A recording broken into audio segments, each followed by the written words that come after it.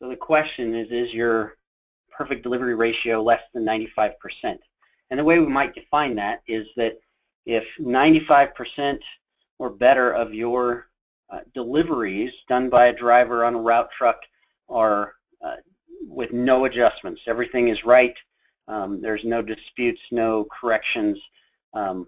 you know, then an, an, electronic proof of delivery system may may not have quite the value um, that it would for someone with uh, with less. Um, but I think that in many cases, and again, depending upon the uh, products that you're delivering, types of customers you have, um,